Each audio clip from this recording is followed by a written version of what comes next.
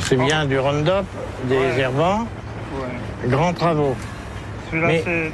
Ça, c'est du nouveau. Mais je vois sur celui-là, il y a marqué biodégradable. Ça, c'est l'ancien. Maintenant, il ne marque plus biodégradable. Ben, là, Donc, pour- ça ne doit plus être biodégradable, c'est le même produit. C'est parce qu'ils ne doivent plus avoir le droit de, le- de le marquer. c'est- Ça ne doit pas être vraiment biodégradable. Eh, fais gaffe de- qu'on n'en reçoive pas dans la figure, quand Non, même, non, hein, non, ben, je ne suis, pas- Parce que je suis pas un assassin. hein. Je suis sûr que ce soja Roundup Ready est mûr. On va pouvoir le récolter aujourd'hui. 11,5% d'humidité. C'est parfait pour la moisson. La première fois que j'ai entendu parler du soja Roundup Ready, c'était il y a huit ans dans un magazine agricole. Ça avait l'air d'une innovation très intéressante. Le soja contient une protéine qui a été introduite dans la plante par manipulation génétique et qui la rend résistante au Roundup. Le Roundup est pulvérisé sur les plantes. Cela présente des avantages indiscutables. Si vous observez mon champ, il n'y a pas de mauvaises herbes. Utilisé selon le mode d'emploi, Roundup ne présente pas de risque particulier pour l'homme, les animaux domestiques et leur environnement. Marque déposée de Monsanto, fabriquée en Belgique. Si tu vois des escargots, t'en mets pas dessus, hein, parce qu'ils seront immangeables. hein. Alors attention fraisier. Hein. J'encourage vraiment les agriculteurs européens à s'intéresser de plus près à la technologie Roundup Ready. C'est un très bon système pour l'environnement et à long terme. Essayez-le.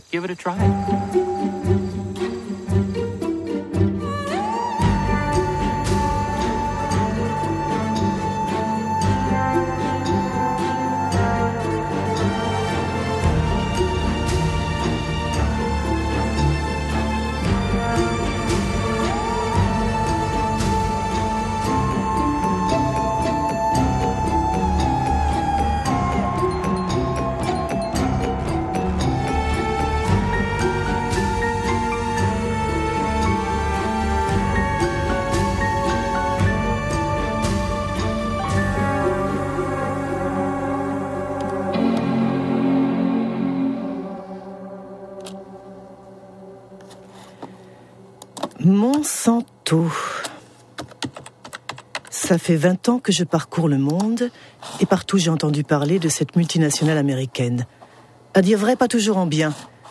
J'ai voulu en savoir plus et j'ai navigué sur la toile pendant des mois en assemblant patiemment les pièces du puzzle. Sur son site internet, Monsanto se présente comme une compagnie agricole dont l'objectif est d'aider les paysans à produire des aliments plus sains tout en réduisant l'impact de l'agriculture sur l'environnement. Son produit phare, c'est le Roundup, l'herbicide le plus vendu au monde depuis 30 ans.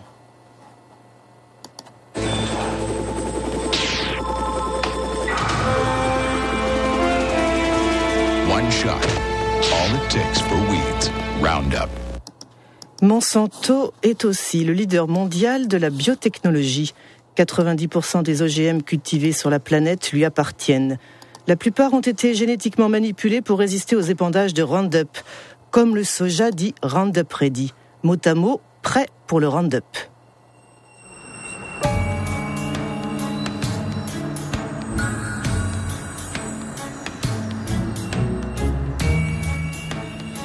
Les OGM de Monsanto ont envahi le monde, mais jamais une application agro-industrielle n'a suscité autant de passion et de polémiques. Pourquoi? Quels sont les enjeux des OGM et le passé de la firme? Peut-il éclairer ce qu'elle est ou prétend être aujourd'hui? Créée en 1901 à Saint-Louis dans l'État du Missouri, Monsanto ne fut pas toujours une compagnie agricole. Ce fut d'abord l'une des plus grandes compagnies chimiques du XXe siècle. Chemistry is working for you. And very likely Monsanto is working for you. Monsanto, where creative chemistry works wonders for you. Les merveilles vantées par la publicité ont fait de Monsanto l'une des entreprises les plus controversées de l'ère industrielle. Agent orange, aspartame, Hormones de croissance. PCB. Les PCB. Ces huiles chimiques, utilisées comme isolants dans les transformateurs électriques, furent le fleuron de la firme pendant près de 50 ans. Elles s'appelaient Arochlor aux États-Unis, Pyralène en France ou Kloppen en Allemagne, jusqu'à leur interdiction au début des années 1980. Monsanto PCB.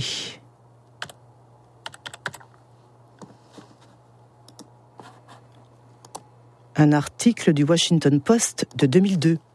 Monsanto a caché la pollution pendant des décennies. Ça s'est passé à Aniston dans l'État de l'Alabama.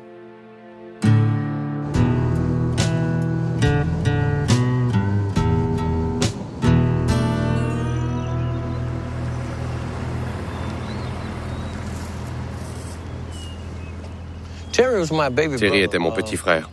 Il est mort en 1971 d'une tumeur au cerveau, d'un cancer des poumons et d'une maladie du cœur. Il avait 16 ans.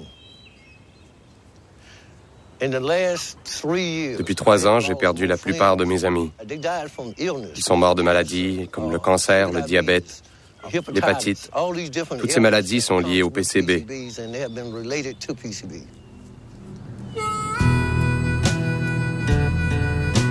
C'est la route de Monsanto.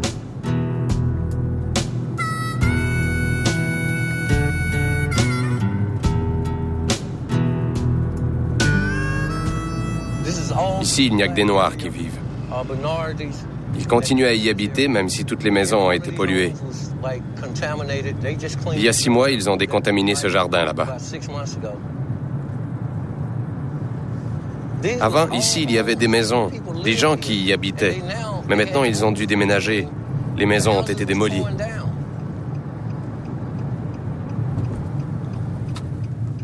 Ça, c'est la maison où mon frère est mort. C'est là que j'ai grandi.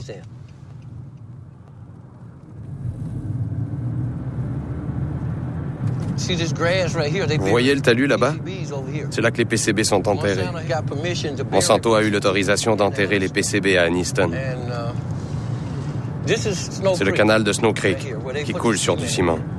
Il partait de l'usine et déversait les PCB jusqu'ici. C'était de l'eau empoisonnée et ils ne l'ont dit à personne, sauf à l'État qui ne nous a rien dit.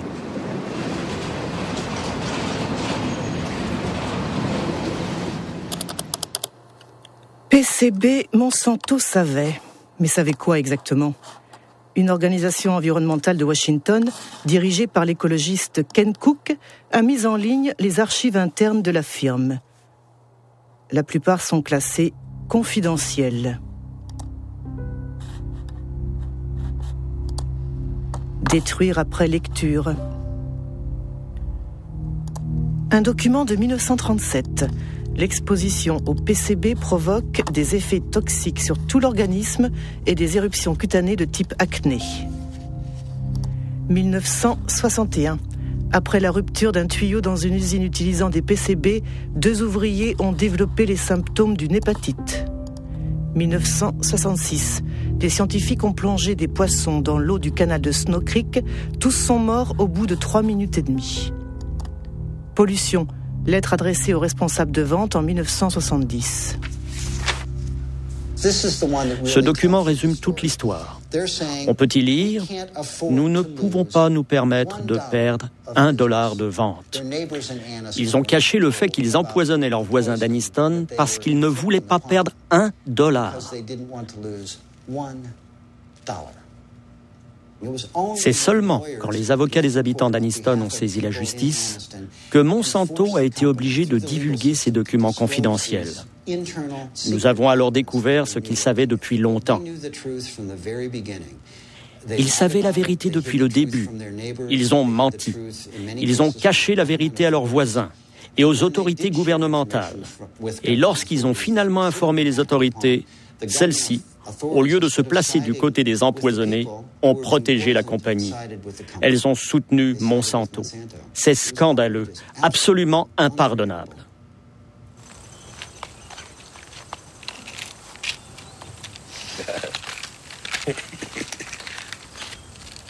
C'est tous tes médicaments Non, ce n'est pas tout, j'en ai d'autres là. C'est quoi ton taux de PCB 63,8 dans le sang. Dans le sang. Si on faisait une biopsie de sa graisse, il serait en haut de l'échelle avec 3 ou 4 000 parts par milliard, ou plus. Quel est le niveau acceptable? C'est 2 parts par milliard. C'est le standard mondial. Mais nous, nous en avons plus dans le sang et dans le corps que nulle part ailleurs dans le monde. Ici, c'est normal de parler de son taux de PCB Nous en parlons tous ici parce que c'est notre quotidien. Qu'il arrive que les enfants viennent me voir et me disent Monsieur Baker, on m'a fait des analyses, j'ai trois parts par milliard. Combien de temps il me reste? Cette histoire est absolument terrible. Mais qu'en pensent les scientifiques? Sur la toile, on trouve de nombreux articles concernant les effets des PCB sur la santé humaine. L'un des meilleurs spécialistes s'appelle David Carpenter. C'est lui qui a réalisé les tests pour les habitants d'Aniston. Nous avons tous des PCB dans nos corps. Les ours polaires et les pingouins ont des PCB. Par le passé, il n'y avait que quelques sites où l'on se débarrassait des PCB. Mais avec le temps, ils ont contaminé l'air et l'eau. Maintenant, toute la planète est contaminée par les PCB. Les PCB causent beaucoup de maladies. La plus connue est le cancer.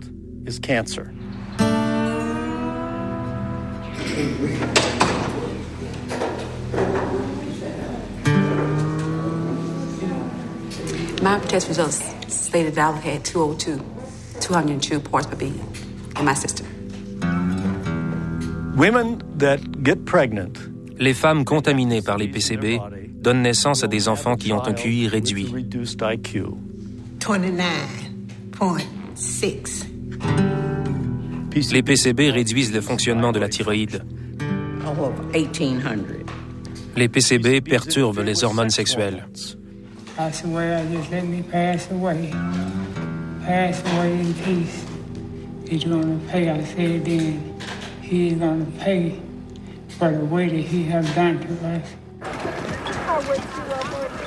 En 2001, 20 000 habitants de Aniston ont porté plainte contre Monsanto.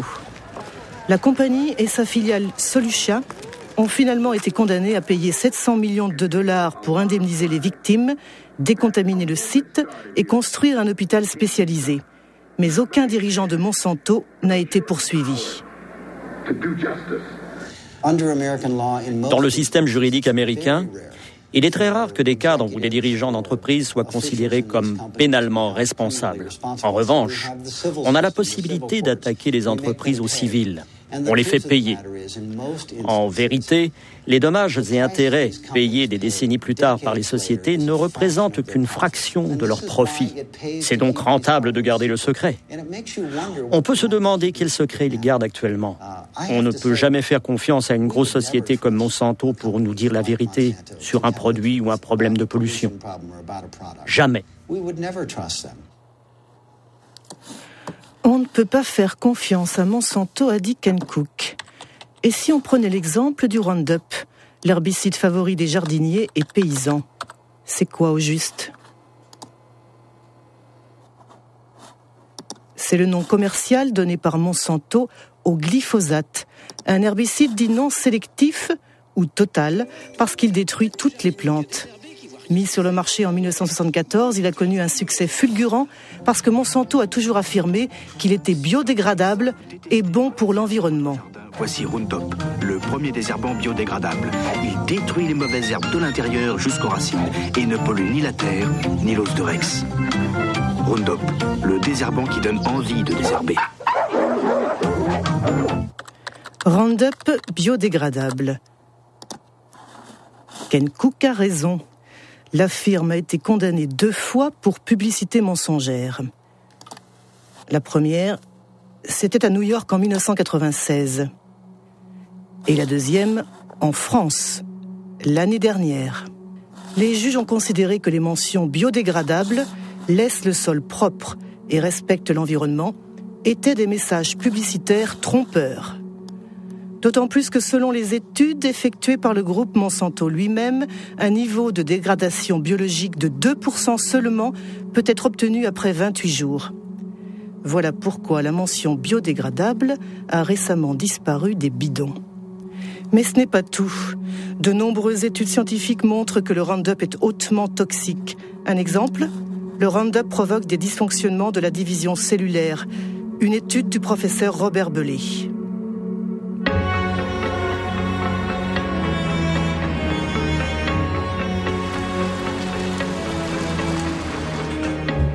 Le professeur Belay travaille pour le CNRS et l'Institut Pierre et Marie Curie. Il a étudié les effets du Roundup sur des ovules fécondés d'oursins. La très grosse surprise a été que le Roundup a un effet sur la division des cellules. Et très vite, on s'est aperçu que ce qui était touché par le Roundup était un point clé de la division. C'est-à-dire pas les mécanismes de la division elle-même, mais les mécanismes qui contrôlent la division des cellules. Il faut comprendre comment naît un cancer. Les cellules, au départ, ne sont pas cancéreuses, et à partir d'un certain moment, il y a des modifications en elles, et la modification principale, c'est ce qu'on appelle devenir instable du point de vue génétique. Et c'est ce premier dérèglement qu'on a observé avec le Roundup. Et c'est pour ça que l'on dit que pour nous, le Roundup induit les premières étapes qui conduisent au cancer. Et nous faisons attention de ne pas dire induisent des cancers, puisque les cancers, on les verra dans 30 ou 40 ans. On s'est tout de suite, nous, rendu compte de l'importance que ça pouvait avoir au niveau des utilisateurs, puisque les doses correspondaient à des doses quand même euh, euh, très en dessous des doses qu'utilisent les gens. Et on s'est dit, mince, il faut vraiment qu'on alerte le mieux possible et le plus vite possible euh, l'opinion publique d'une certaine façon.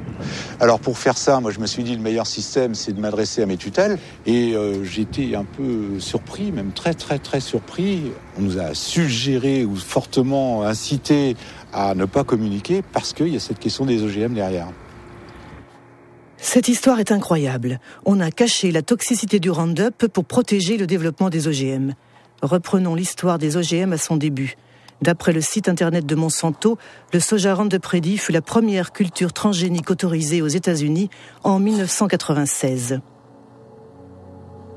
Ces producteurs sont regroupés au sein de l'ASA, l'Association américaine du soja, dont le site de Monsanto fournit l'adresse. John Hoffman, son vice-président, est un défenseur inconditionnel de la biotechnologie.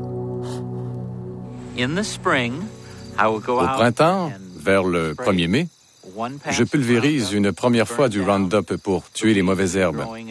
Et puis, six ou sept semaines plus tard, je fais une deuxième application.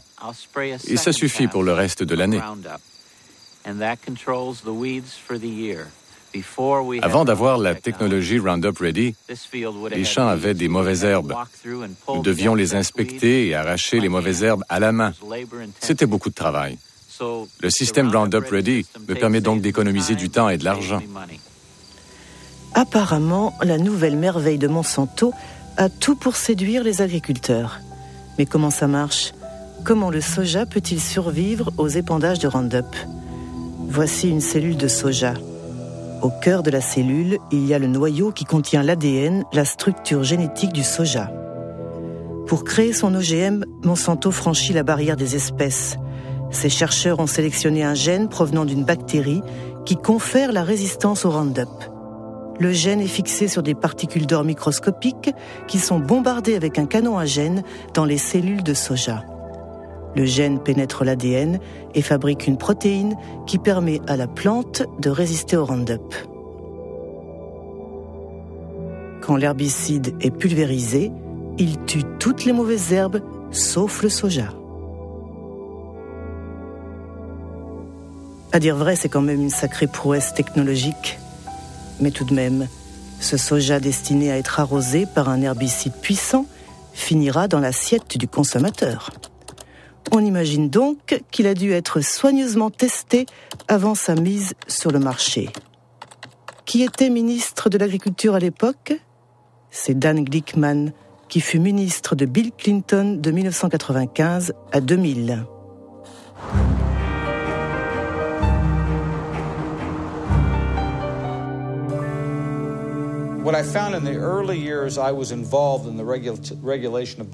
Au début de mon mandat, il y avait un consensus dans l'agroalimentaire et au sein du gouvernement des États-Unis. Si on ne marchait pas tête baissée en faveur du développement rapide de la biotechnologie et des cultures OGM, alors on était considéré comme anti-science et anti-progrès.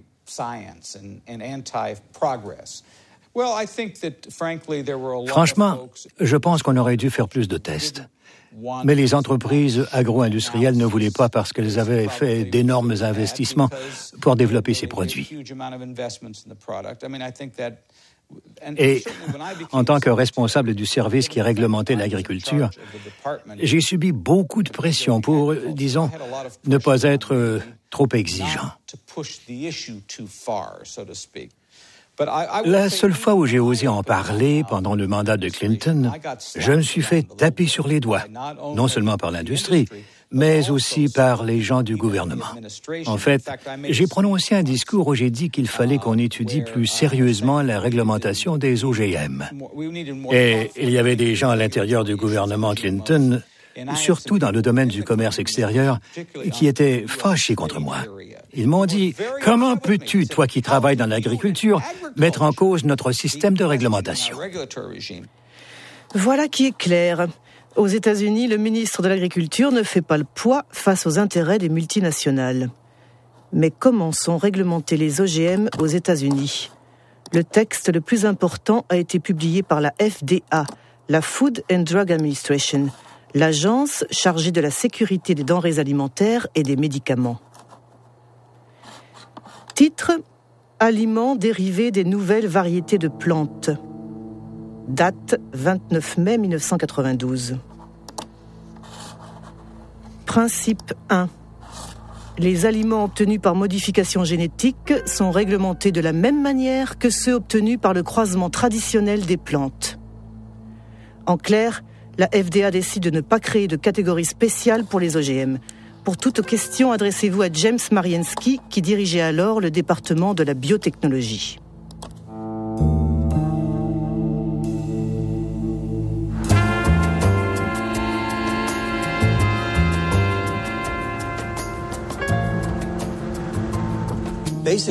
En gros, le gouvernement a pris la décision de ne pas créer de nouvelles lois. Il pensait que les lois existantes pouvaient s'appliquer aux nouvelles technologies. Ça veut dire que la Maison-Blanche a demandé à l'agence d'écrire un texte où les OGM ne seraient pas soumis à une réglementation spécifique. Mais ce n'était pas basé sur des données scientifiques, c'était une décision politique. Oui, c'était une décision politique qui touchait beaucoup de domaines, pas seulement la nourriture. Elle s'appliquait à tous les produits de la biotechnologie. Quel aveu incroyable James Mariensky reconnaît que la réglementation des OGM fut basée sur une décision politique et pas scientifique. Mais comment cette décision fut-elle argumentée? Principe 2 les composants des aliments provenant d'une plante génétiquement modifiée seront les mêmes ou similaires en substance à ceux que l'on trouve communément dans les aliments. Autrement dit, la FDA considère a priori qu'une plante modifiée génétiquement est similaire à une plante conventionnelle. C'est ce qu'on appelle le principe d'équivalence en substance, qui a été repris partout dans le monde. Il est au cœur du débat qui oppose les anti-OGM aux pro-OGM. Comment la FDA a-t-elle pu décider qu'une plante OGM était similaire à une plante conventionnelle? Nous savons que les gènes qui sont introduits dans les plantes par la biotechnologie produisent des protéines très semblables à celles que nous avons consommées pendant des siècles. Ça, c'est la version officielle de la FDA. Elle est battue en brèche par Jeffrey Smith, auteur de plusieurs ouvrages sur les OGM. Michael Hansen, expert scientifique auprès de l'Union des consommateurs. L'essayiste Jeremy Rifkin, qui fut le premier à dénoncer le principe d'équivalence en substance. Si les OGM sont si bien implantés aujourd'hui, c'est à cause d'une tromperie de la FDA. Ils disent que ces aliments ne sont pas différents. Ils emploient l'expression équivalence en substance, ou pas considérablement différent, ce qu'ils traduisent par généralement reconnu comme sûr, grass en anglais. Normalement, pour que quelque chose soit considéré comme grass, il faut que cela s'appuie sur de nombreuses études et qu'il y ait un large consensus au sein de la communauté scientifique. Avec les OGM, il n'y a eu ni l'un ni l'autre. La FDA disait, si on introduit un gène dans une plante, ce gène est de l'ADN. Comme nous consommons de l'ADN depuis longtemps, nous pouvons donc conclure que cette plante est grass. Notre point de vue, c'était que les gènes devaient être considérés comme des additifs alimentaires. Actuellement, quand on veut ajouter dans un aliment une goutte microscopique d'un nouveau colorant, d'un conservateur ou d'un produit chimique, c'est considéré comme un additif alimentaire. Et donc, on doit faire toutes sortes de tests pour prouver qu'il y a une certitude raisonnable qu'il ne soit pas nuisible. En revanche, lorsqu'on manipule génétiquement une plante, ce qui peut engendrer d'innombrables différences dans l'aliment, on ne demande rien. À l'époque, à Washington, si vous fréquentiez les mêmes bars que les lobbyistes, vous les entendiez rire de tout ça. Tout le monde savait que c'était n'importe quoi, ce principe d'équivalence en substance. C'était simplement une façon pour ces sociétés, et surtout Monsanto, de mettre rapidement leurs produits sur le marché, avec le moins d'interférences gouvernementales possible. Et je dois dire qu'ils ont très bien su défendre leurs intérêts. Je me souviens de réunions où les scientifiques de Monsanto ont rencontré les scientifiques de la FDA. Ils parlaient des modifications que leurs travaux provoquaient, tout en demandant à la FDA comment allez-vous réglementer ces produits. Je n'ai jamais vu une société qui ait une influence aussi déterminante et à un niveau aussi élevé sur les autorités gouvernementales en charge de la réglementation que Monsanto avec ses OGM. Il existe une archive exceptionnelle où l'on voit George Bush père en visite dans les laboratoires de Monsanto. C'était neuf ans avant la mise sur le marché du soja Roundup Ready. What I'd like to uh, do today is show you some of the steps we go through when we're moving uh, genes from uh, one organism into another. And you'll actually be doing the, the very little manipulations we do in the laboratory where we take DNA, cut it apart, mix different pieces together, and then rejoin them, splice them back together. This tube contains DNA that was made from a bacterium. DNA would look the same whether it was from a uh, plant What are we saying here? Oh, I see. And this will lead you to do what? To have a stronger plant or a plant that's that's uh, in this, resists uh, in this case, herbicide. In this case, it resists the herbicide. I see. We have a fabulous herbicide. This is a chemical that will Au moment où George Bush effectue sa visite au siège de Monsanto, il est le vice-président de Ronald Reagan. Le mot d'ordre de l'administration républicaine, c'est la déréglementation. Il s'agit de favoriser l'industrie en réduisant au maximum les entraves bureaucratiques, comme les tests sanitaires ou environnementaux sur les nouveaux produits. Et c'est justement ça le problème de Monsanto. We have before USDA right now a, a request to test this uh, for the first time a, on a farm in, uh, in, Illinois this year. And uh, get hallucinating about it, we'll lose another year. Yes, and, and, and then uh, the expense goes out and nothing happens because you can't. Yeah, and I would say, quite frankly, we have no complaint about the way USDA is handling it. Uh, they're going through an orderly process. They're making sure Very that as thorough. they deal with these new things, they do them properly. And uh, now, if we're waiting until September and we don't have our authorization, we may say something different. Call me. We're in a dereg business. We have. En 1988, Dan Quayle a pris la place de George Bush, qui a été élu président des États-Unis.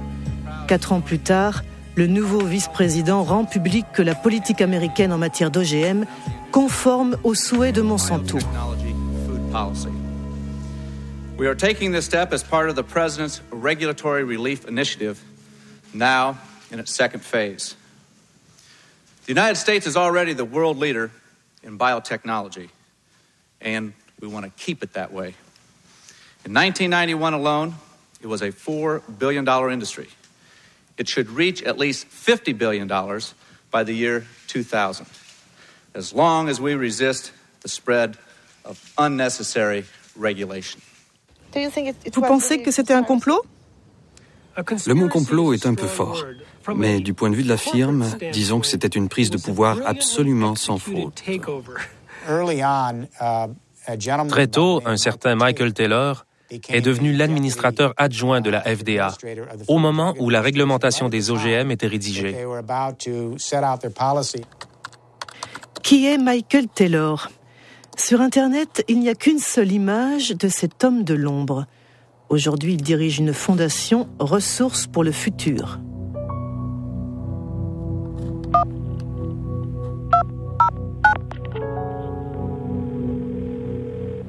Hello, Marie Monique speaking. Hello, it's Mike Taylor.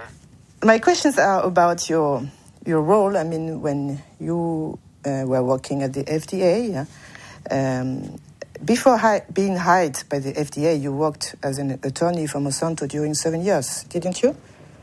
Well, I was a partner in a law firm of which Monsanto was a client, and Uh-huh. I worked on some Monsanto matters. Yes. Uh-huh. And apparently, if I understood well what I read, and the FDA created a new position for you, Deputy Commissioner for Policy?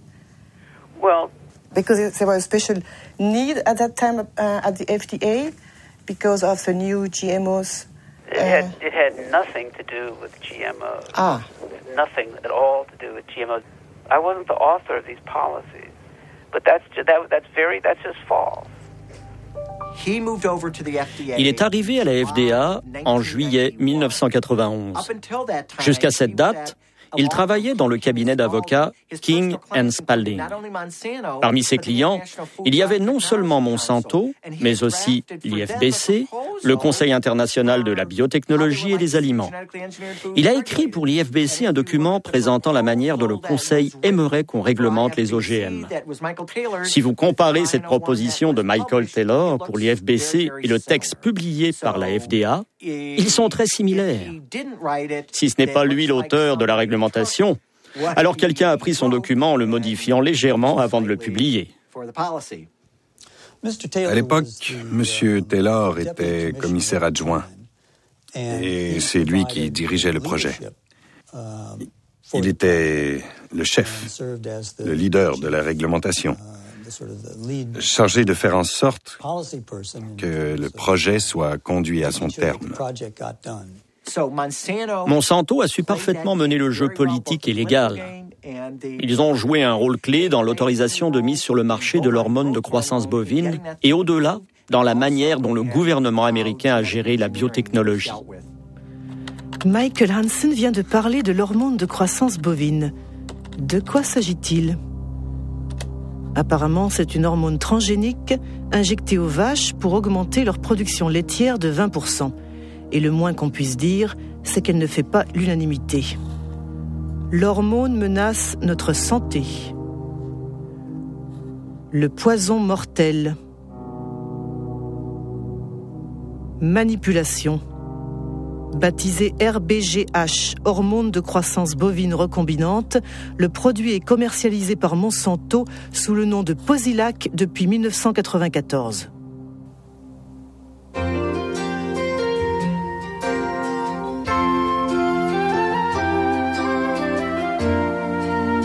Posilac is the single most tested new product in history.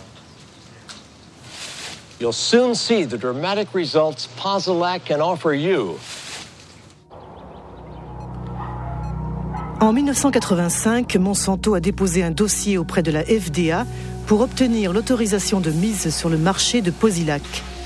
Les experts de l'agence ont analysé les essais réalisés par la firme sur des élevages expérimentaux.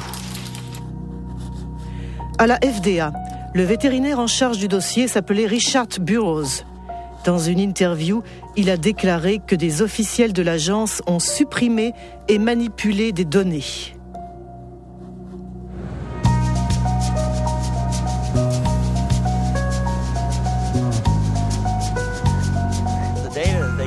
Les données scientifiques que la compagnie a envoyées ne prenaient pas en compte les besoins des producteurs de lait, à savoir des questions clés comme les maladies que sont la mamite, c'est-à-dire l'infection des pies, et les problèmes de reproduction.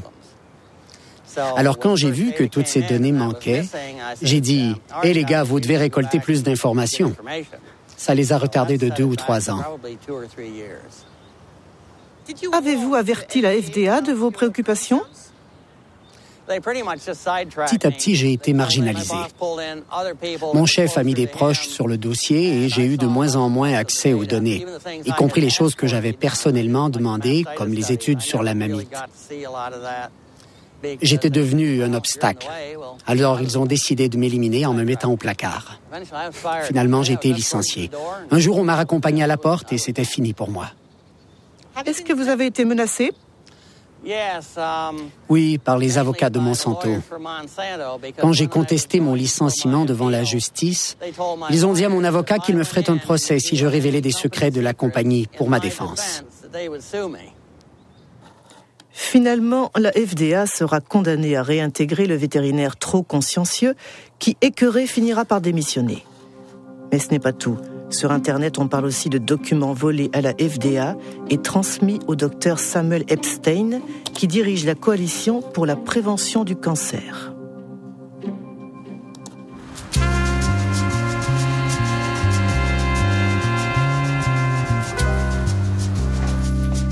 En 1990, le professeur Epstein a publié un article dans The Milkweed, un journal de référence spécialisé sur le lait que dirige le journaliste Pete Hardin?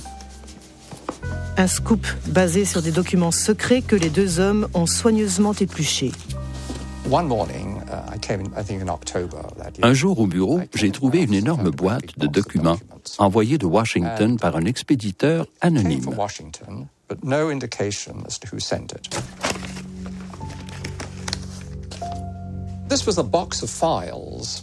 Cette boîte contenait toutes les données des études vétérinaires que Monsanto avait fournies à la FDA depuis six ans. Un vrai bonheur. La plupart de ces documents sont des originaux, avec la mention Informations internes et confidentielles, qui ne peuvent pas être reproduites, révélées ou envoyées à l'extérieur de la société sans autorisation. C'est exactement ce qu'un journaliste d'investigation aime rendre public.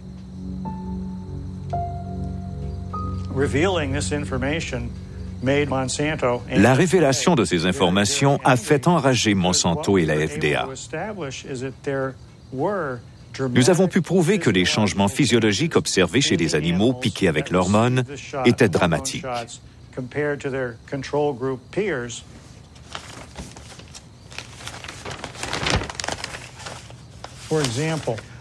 Par exemple, nous voyons que les ovaires droits des vaches qui ont reçu l'hormone synthétique sont 34% plus gros, voire 42% ou 44% selon les groupes. Par ailleurs, les dossiers volés montrent qu'il y a de graves problèmes de reproduction chez les animaux qui ont été traités. The data is conclusive. We provided the data, the raw data. Uh, and summary data is peer-reviewed data not done by us to support the submission.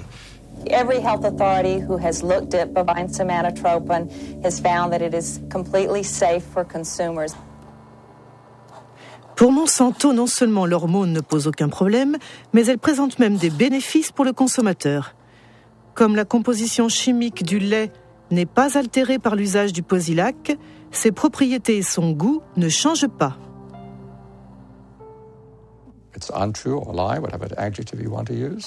Ce n'est pas vrai, c'est un mensonge. C'est un produit très différent pour plusieurs raisons. D'abord, comme les vaches souffrent souvent de mammites, il y a du pu dans le lait.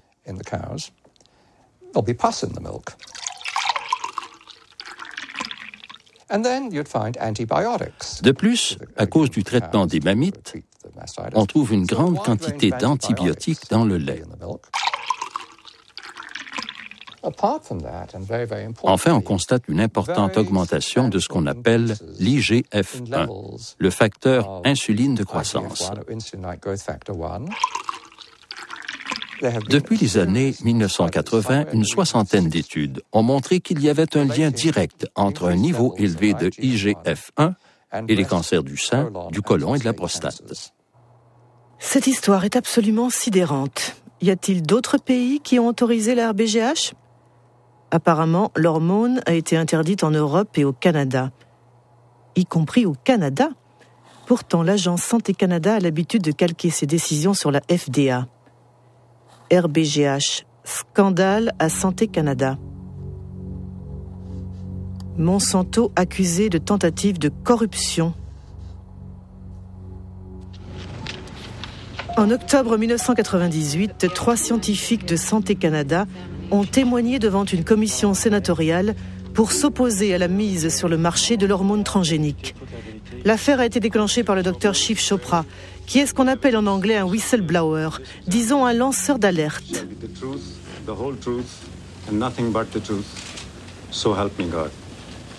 Je me demande quelle vérité je vais dire. Celle que je connais ou celle que le ministère me dit de dire. Voilà mon conflit. Je vous demande à tous les trois, est-ce que certains d'entre vous ont été approchés par Monsanto?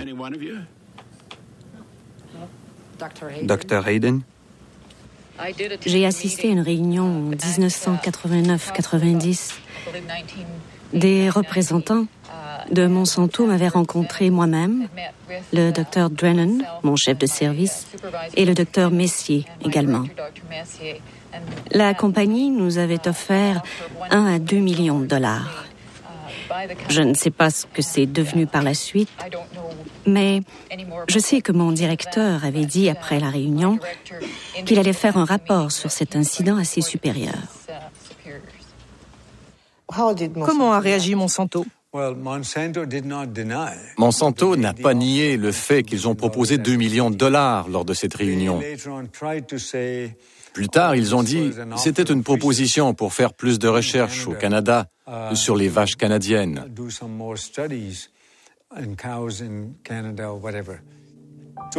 En tout cas, le résultat, c'est que l'hormone transgénique n'a pas été autorisée au Canada. À la suite des révélations canadiennes, le Parlement européen l'a banni pour toujours. Puis, tout d'un coup, Margaret Hayden, Gérard Lambert et moi, nous avons été tous les trois congédiés pour désobéissance. Vous avez été licencié Oui, nous avons été licenciés et nous avons porté l'affaire en justice. Aux États-Unis, le Congrès avait également ouvert une enquête à la demande des opposants de l'hormone transgénique. Ceux-ci dénonçaient notamment l'interdiction d'étiqueter le lait selon sa provenance, qui empêche les consommateurs de choisir. Mais curieusement, l'enquête du Congrès n'a jamais abouti.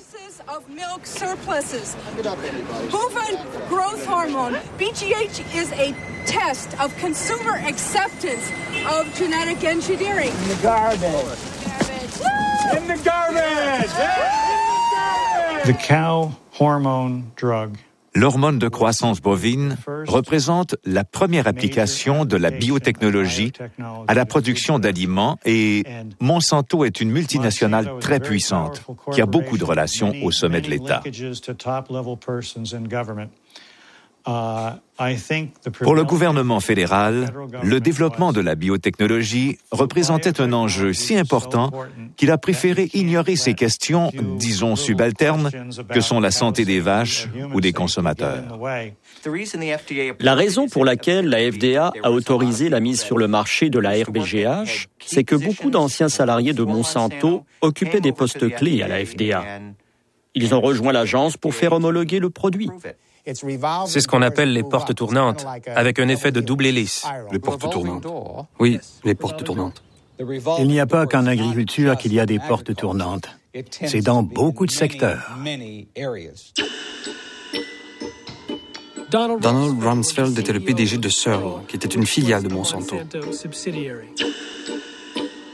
L'ambassadeur américain du commerce extérieur, Mickey Cantor, a fini au conseil d'administration de Monsanto.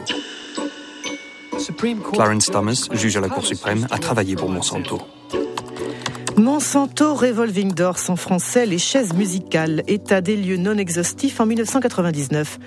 Linda Fisher passe de l'EPA, l'agence de protection de l'environnement à Monsanto, Michael Friedman de la FDA à Monsanto, Marcia Hale et Josh King de la Maison Blanche à Monsanto, Margaret Miller de Monsanto à la FDA, William Reichelhaus de l'EPA à Monsanto, sans oublier Michael Taylor qui a fait plusieurs fois l'aller-retour. Once your mission carried out by the FDA, you became Monsanto's vice president for public policy. Right. So there is no conflict of interest for you. No, the, no, and and again, the rules are the rules, and I played within the rules. I think, in terms of public acceptance, it, it's been one blunder after another if you're trying to have a strategy for, yeah. for having the public understand and accept the new technology, having the first application of it be uh, have be related to milk, which we already have more than we need. It created, you know, uh, it helped create a climate of, of suspicion. Suspicion. I think the idea that that companies are not required in every case of a GMO to submit the product to FDA, such as is required in Europe. I think that from a public confidence, public acceptance standpoint, that's not a sufficient system. I personally have said that Congress should change the law. Congress should create a mandatory notification system that ensures that every product is looked at by FDA and that FDA makes a safety judgment about every product. Voilà ce qu'on appelle un aveu fort intéressant. Apparemment, Michael Taylor semble regretter la réglementation qu'il a signée en 1992. Qu'en pensaient les scientifiques de la FDA Y avait-il un consensus sur la réglementation des OGM Des documents internes montrent que l'agence a ignoré les inquiétudes de ses propres scientifiques. C'est signé Steven Drucker.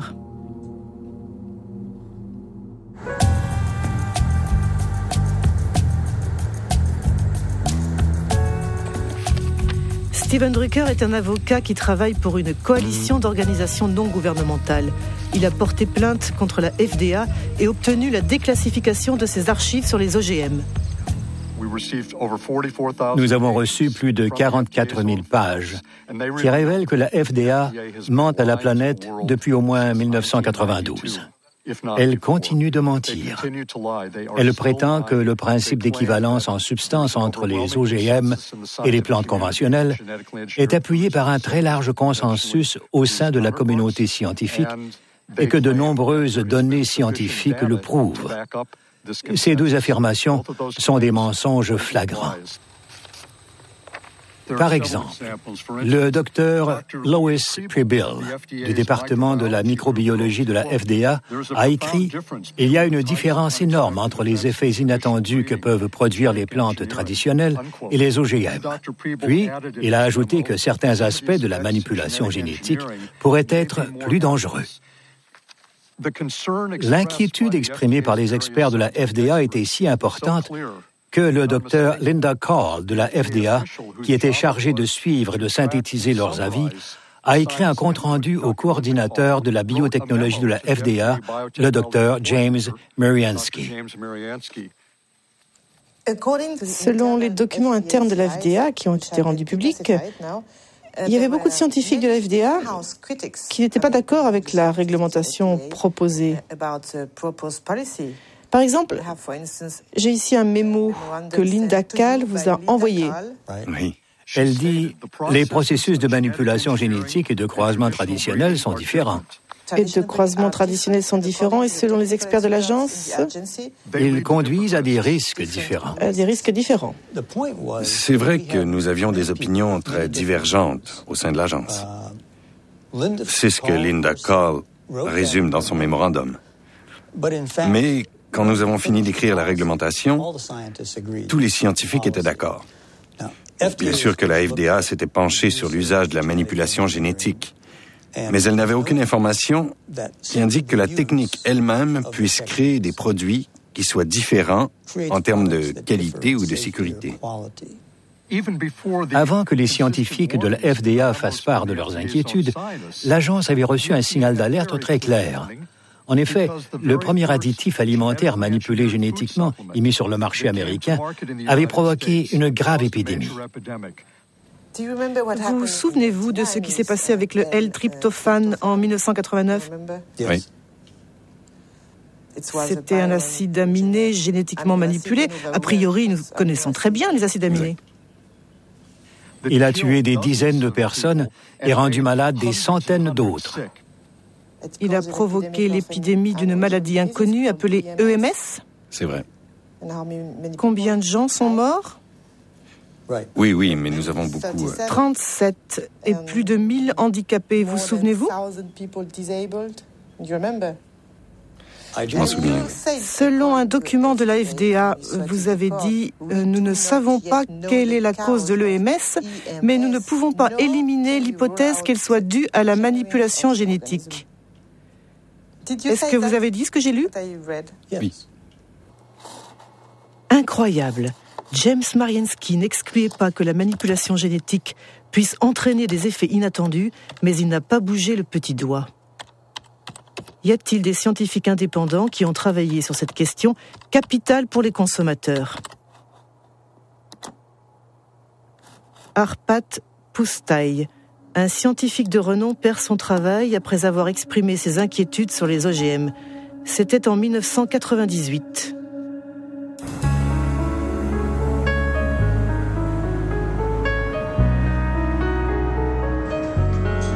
Arpad Poustaï travaillait pour l'Institut Rolette en Écosse. Et il avait dirigé une étude sur des pommes de terre transgéniques à la demande du ministère de l'Agriculture. Un budget de plus de 2 millions d'euros qui avait mobilisé 30 chercheurs pendant deux ans pour préparer l'arrivée des OGM en Grande-Bretagne. Nous étions tous enthousiastes. J'étais enthousiaste. Le ministère pensait que si nous faisions cette étude en examinant tous les aspects, cela constituerait un soutien en faveur des OGM. Au moment de lancer les produits sur le marché, il pourrait dire que le meilleur laboratoire européen de nutrition avait trouvé qu'il n'y avait pas de problème. Arpad Poustaï est spécialiste des lectines. Ce sont des protéines qui ont une fonction insecticide et protègent les plantes contre les pucerons. Les scientifiques du Rowett Institute ont créé des pommes de terre résistantes aux pucerons dans lesquelles ils ont introduit un gène provenant d'un perce-neige qui fabrique la fameuse lectine. Auparavant, ils avaient vérifié qu'à l'état naturel, les lectines ne sont pas dangereuses pour la santé. Les pommes de terre transgéniques ont été testées sur des rats.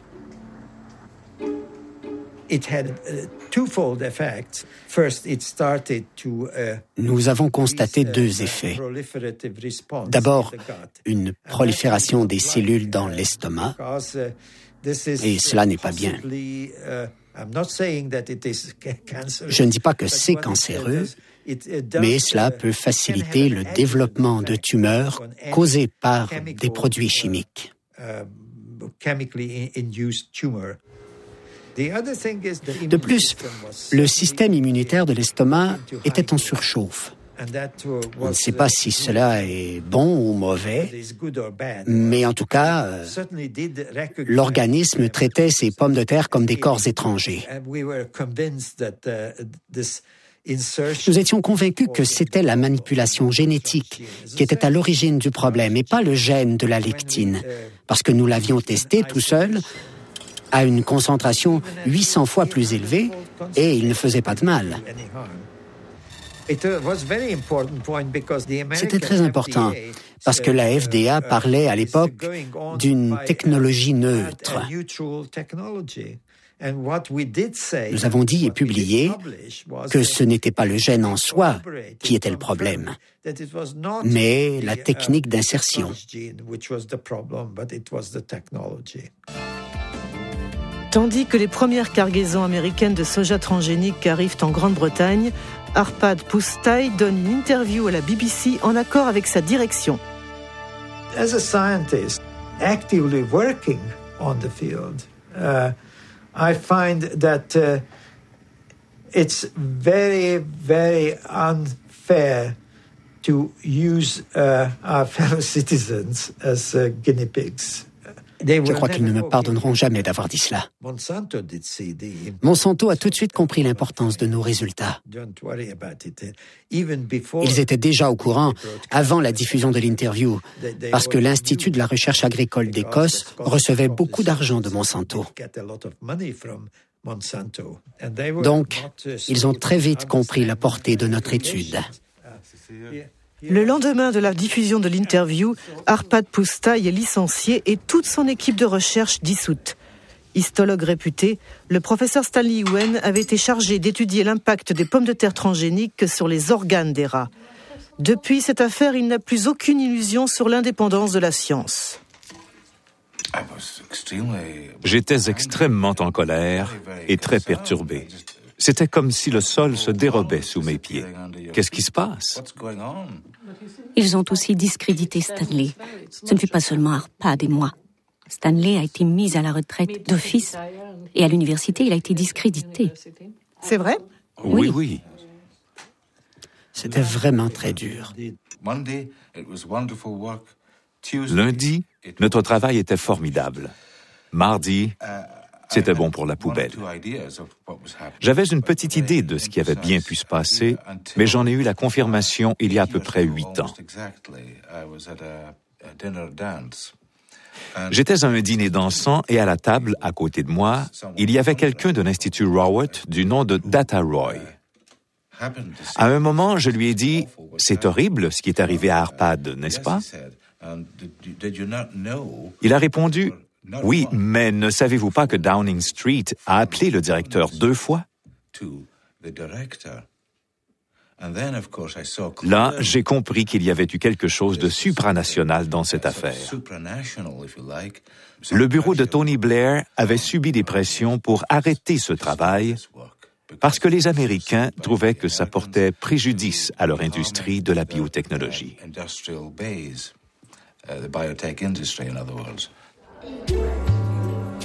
L'affaire d'Arpad Pustaï a entraîné un rejet massif des OGM en Grande-Bretagne, soutenu par Greenpeace. Au point qu'un an plus tard, Robert Shapiro, le PDG de Monsanto, a accepté de participer à une téléconférence organisée par l'association écologiste. C'est finalement la seule archive filmée qui existe de l'ancien PDG, qui avait fait basculer la compagnie dans l'ère de la biotechnologie en lançant un nouveau mot d'ordre, nourriture, santé et espoir. Monsanto made huge efforts to push its products in every direction with the full support of multinational food manufacturers, retailers, communications firms, regulators, even governments. You behave not as a company offering life and hope, but as bullies, trying to force your products on us. Um, I, I, if I'm a bully, I don't feel that I'm a very successful bully. I want to start by emphasizing that biotechnology is, is a tool. Biotechnology in itself is neither good nor bad. It can be used well or it can be used badly. The products that are on the market have been reviewed uh, through the regulatory processes that society has established in order to assure not only safety, but the environmental safety uh, of, of uh, the products themselves. Dix ans après sa mise sur le marché, le soja Roundup Ready représente 90% du soja cultivé aux États-Unis. Et 70% des aliments vendus dans les commerces américains contiennent des produits transgéniques. À la différence de l'Europe, les consommateurs ne peuvent pas choisir car l'étiquetage des OGM est interdit une conséquence directe du principe d'équivalence en substance. J'ai un grain de soja dans la main et je peux le manger en toute sécurité. Je pense que la FDA est confiante que ce soja présente la même sécurité alimentaire que les autres variétés. Comment l'agence peut-elle en être sûre? C'est basé sur les données que la compagnie a fournies à la FDA et qui ont été évalués par les scientifiques de l'agence. Et euh, ce n'est pas dans l'intérêt d'une entreprise de conduire une étude pour ensuite en masquer les résultats. Comment James Mariinsky peut-il être aussi affirmatif? Si on tape Monsanto a falsifié des études scientifiques, on obtient 174 000 réponses. Parmi elles, un rapport de l'EPA, l'Agence de protection de l'environnement des États-Unis. Monsanto aurait falsifié des études sur les effets cancérigènes de la dioxine.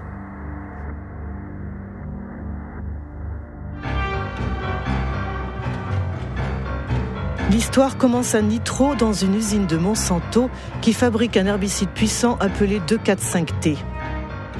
En 1949, une explosion a provoqué des effets inattendus. 228 ouvriers ont développé une maladie très défigurante, la chloracnée. L'origine, c'est la dioxine, un sous-produit hautement toxique que contient le 2,4,5-T.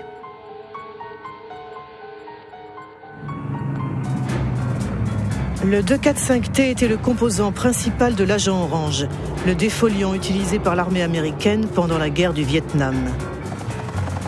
Dans les années 1960, 40 millions de litres d'agent orange ont été déversés dans le sud du pays, soit 400 kilos de dioxine pure. 3 millions de personnes ont été contaminées, dont des milliers de soldats américains. 40 ans après la fin de la guerre, la dioxine continue de faire des victimes. On sait aujourd'hui que ce poison provoque des cancers et de graves dysfonctionnements génétiques.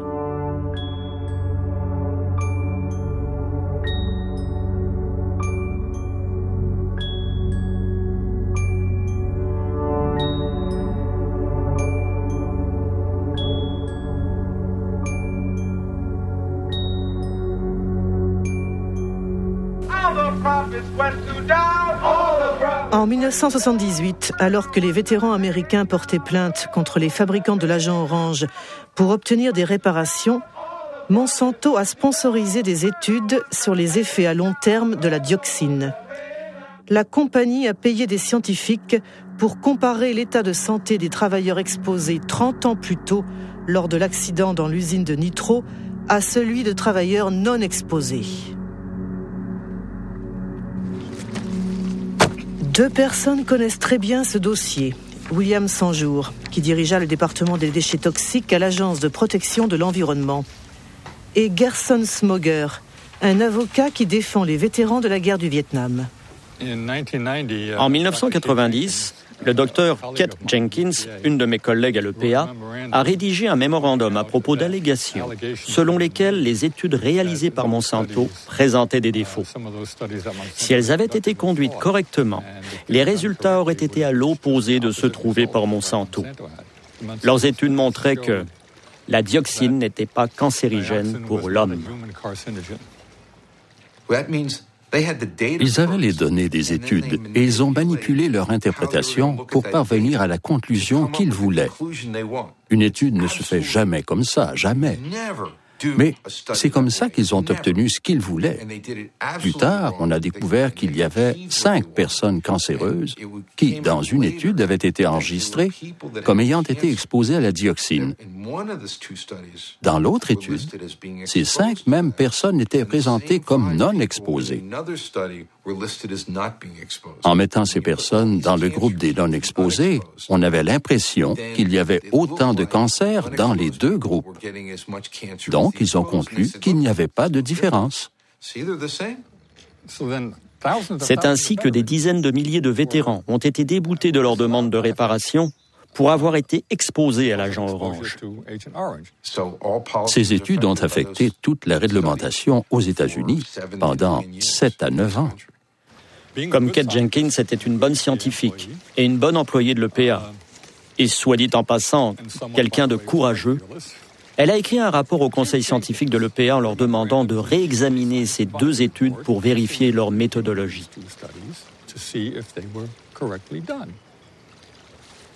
En fait, il n'y a jamais eu d'investigation sur Monsanto. Personne n'a enquêté sur les deux études. Personne. La seule enquête réalisée a porté sur Kate Jenkins, sur celle qui a tiré la sonnette d'alarme. Sa vie est devenue un enfer. Ils l'ont harcelée. Ils l'ont fait changer de poste. Ils l'ont persécutée.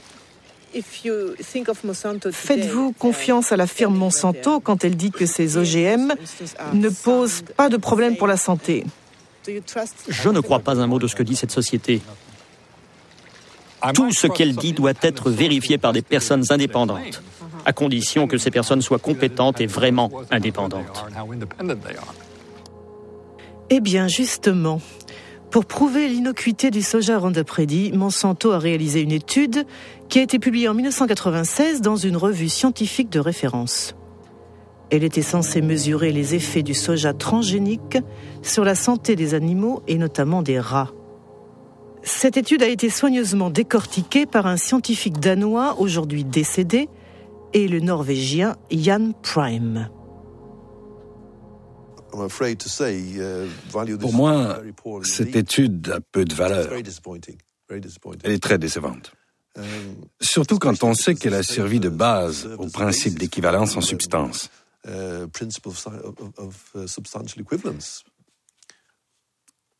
Il y, a, il y a des choses surprenantes. Par exemple, cette phrase. Les études sur l'alimentation des animaux fournissent une assurance partielle qu'il n'y a pas de changement majeur. Comment ça partiel? Ça ne suffit pas. Je veux 100% d'assurance. Par exemple, à la page 723, on peut lire à part leur aspect plus marron, les foies avaient l'air normal lors de l'autopsie.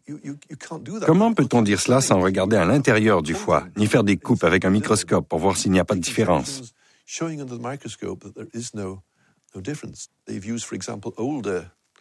De plus, ils ont utilisé des rats âgés. Si on veut camoufler les problèmes, il n'y a rien de mieux que de prendre des animaux adultes, car ce sont les jeunes qui permettent de montrer si une modification s'est produite. On peut dire que c'est de la mauvaise science, car ils ont fourni très peu de données. Avez-vous essayé d'obtenir les données brutes de l'étude sur les rats? Pas moi, mais un collègue. Ça a été très long et très frustrant, car il a fallu qu'il passe de bureau en bureau et finalement, la réponse a été négative. S'il n'y avait rien à cacher, ça ne devrait pas être un problème. Les données devraient être à la disposition de tout le monde pour que l'on puisse travailler dessus. Mais quand on voit qu'ils dissimulent les données, on devient suspicieux, car on se demande pourquoi ils les cachent comme ça.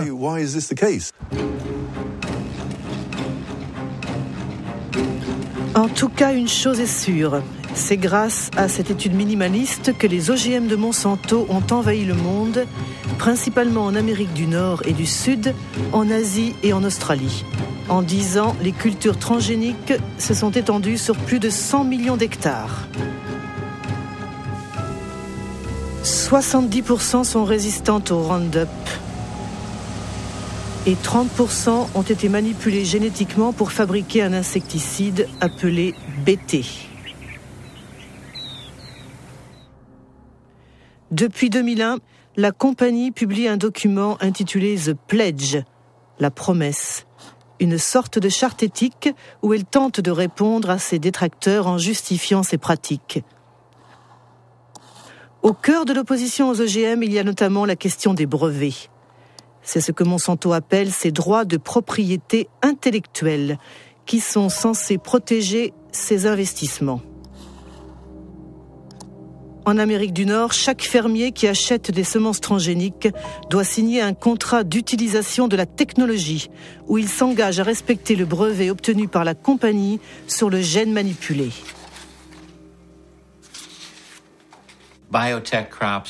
Les OGM sont protégés par la loi américaine sur les brevets. C'est pourquoi je n'ai pas le droit de garder des graines pour les replanter l'année suivante. C'est une protection pour Monsanto et les sociétés de la biotechnologie, parce qu'elles ont investi des millions et des millions de dollars pour créer cette nouvelle technologie. Mais comment la firme Monsanto peut-elle savoir que quelqu'un a ressemé ses graines?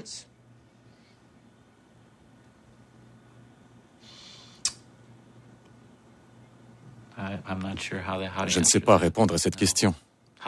Comment peut-elle savoir que quelqu'un ressème ses graines? C'est une bonne question pour Monsanto. La question est tellement délicate que Monsanto préfère l'ignorer en faisant de belles promesses. Dans les cas où les variétés qui nous appartiennent apparaîtraient de manière non intentionnelle dans les champs d'un fermier, Nous nous engageons à trouver une solution qui satisfasse aussi bien le fermier que Monsanto.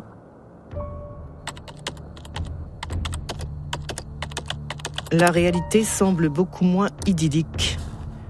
Le Centre pour la sécurité alimentaire de Washington a publié une étude sur les paysans poursuivis par Monsanto pour non-respect du brevet sur les semences.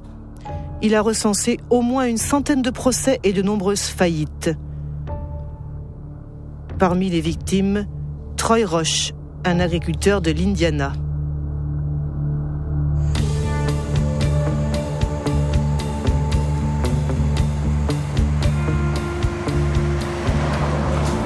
Notre histoire a commencé en 1999. Un gentleman, et ce terme n'est pas très approprié, s'est présenté sur l'exploitation de mes parents. Il disait être un détective privé engagé par Monsanto. Il faisait une enquête sur les agriculteurs suspectés d'avoir gardé une partie de leurs semences. Il nous a demandé directement si c'était notre cas.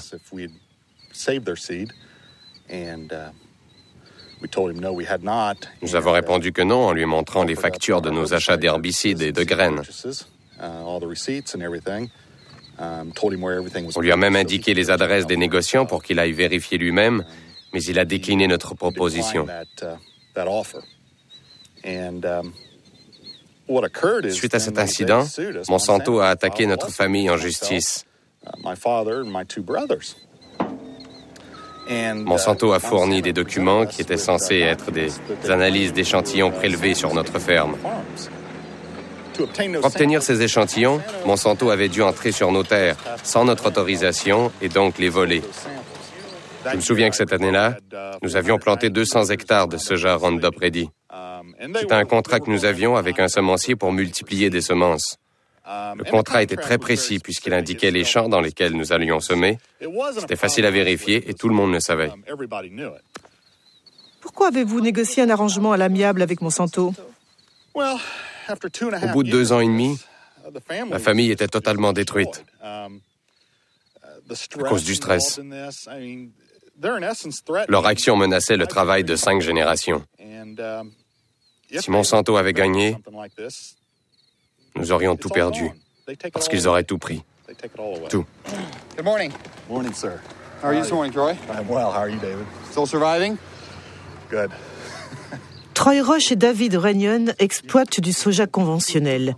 Tous les deux ont été victimes de ce qu'on appelle aux États-Unis la police des gènes.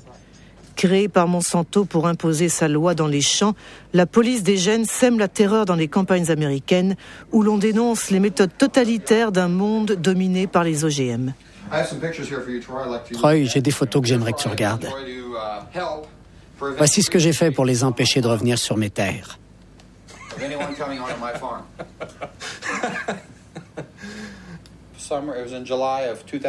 C'était au mois de juillet 2003. Ils sont arrivés chez moi vers 19 heures. Qui est venu? Les employés de Monsanto. Ils m'ont montré leur carte de visite et ils m'ont posé quelques questions sur mes cultures de, de soja, de maïs et où je vendais ma récolte. J'ai dit OK, c'est la fin de la conversation. Les brevets ont tout changé. Ils ont détruit la confiance qui existait entre voisins. Personnellement, il n'y a que deux agriculteurs à qui je parle, avec qui je suis proche. Les agriculteurs ont vraiment peur Bien sûr qu'ils ont peur. C'est impossible de se défendre contre cette firme. Ils ont créé une industrie dont le seul objectif est de détruire la vie des agriculteurs. Tout le monde a peur. Vous avez peur d'être dénoncé par un voisin, par exemple Oui. Vraiment Oui. C'est simple, il suffit de composer le 1-800 Monsanto, non, pardon, 1-800 Roundup. Je me souviens qu'ils encourageaient les agriculteurs à appeler ce numéro gratuit pour moucharder. Pourquoi la firme Monsanto fait-elle tout cela C'est pour tout contrôler. Les semences Oui, ils veulent contrôler les semences. Ils veulent posséder la vie. Il s'agit de la base de notre alimentation. Ils veulent s'emparer de la nourriture, de toute l'alimentation. Entre 1995 et 2005, Monsanto a racheté une cinquantaine de compagnies semencières à travers le monde. Ces acquisitions concernent les semences de soja, de maïs, de coton, de blé, mais aussi de légumes, tomates, pommes de terre, sorgho.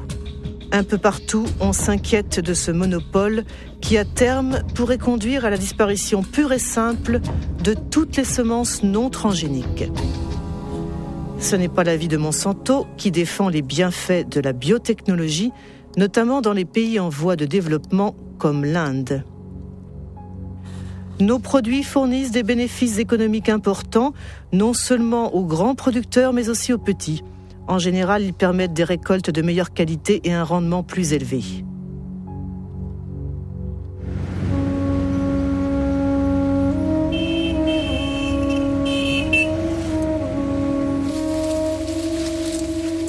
L'Inde est le troisième producteur mondial de coton. En 1999, Monsanto a racheté Maïko, la première compagnie semencière du pays. Deux ans plus tard, le gouvernement indien autorisait les cultures BT, appelées Bolgart, qui ont été manipulées pour fabriquer un insecticide censé repousser les attaques du ver américain, un parasite du coton.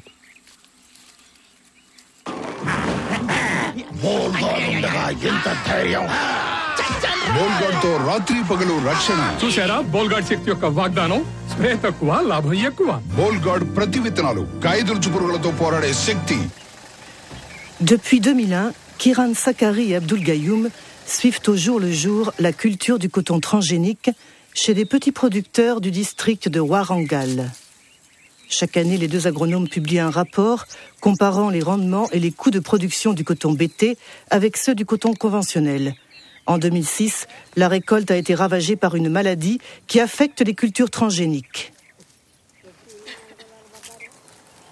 Uh, les plants de ce champ de coton bolgarde sont infectés par ce qu'on appelle la rhizoctonia.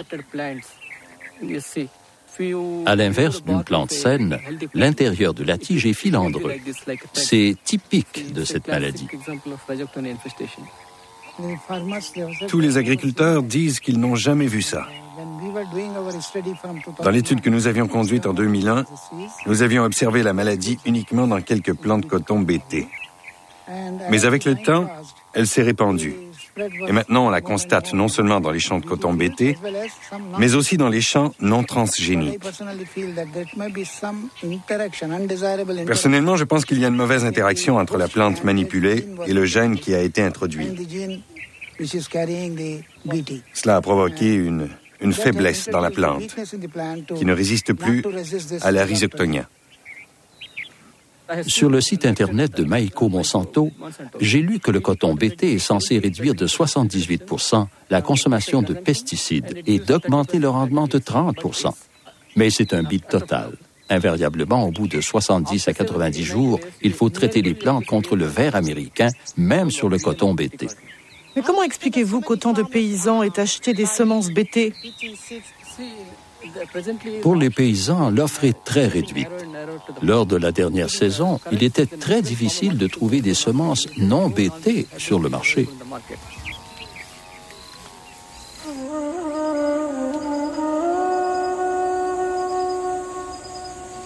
Aujourd'hui en Inde, Monsanto contrôle la quasi-totalité du marché des semences de coton une manière d'imposer ces semences transgéniques vendues quatre fois plus cher que les semences conventionnelles. Pour se les procurer, les paysans sont contraints d'emprunter à des taux usuriers.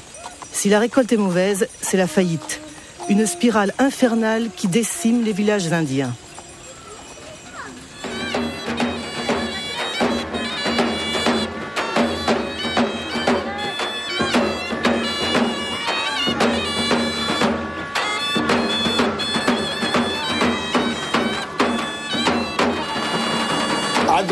आपल्या इथं आत्महत्या झाली ती कशामुळे झाली? किती cotton BT cotton अजून काय कारण होतं? कर्ज बाजार. वय काय होतं? पंचवीस. हा ही consumed pesticide one litre pesticide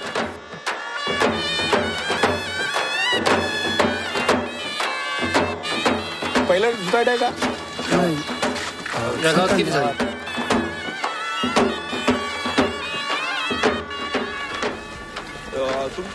Des drames comme celui que nous venons de voir se produisent trois fois par jour dans la région de Vidarbha, où le coton BT a été introduit en 2005. Certes, le suicide des producteurs de coton n'est pas un phénomène nouveau en Inde, mais avec les OGM, il s'est considérablement accentué. Mais rares sont ceux qui osent dénoncer publiquement ce scandale international qui oppose le pot de terre au pot de fer.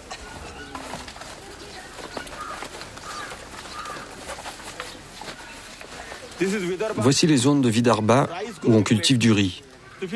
On voit qu'il y a peu de suicides. Et ici, c'est la zone où on cultive le coton. Le résultat du coton BT, c'est que la première année, il y a eu 600 suicides entre juin 2005 et juin 2006. La deuxième année, après seulement six mois, nous sommes déjà à 680 suicides. C'est un désastre. Oui, c'est un désastre complet. Le problème, c'est que les OGM rendent les paysans complètement dépendants des forces du marché. Non seulement ils doivent payer leurs semences plus chères, mais ils doivent acheter des engrais. De plus, la consommation d'insecticides n'est pas réduite. C'est un mensonge. Monsanto dit que les OGM sont adaptés aux petits paysans. Qu'en pensez-vous Notre expérience prouve que c'est complètement faux. C'est un mensonge.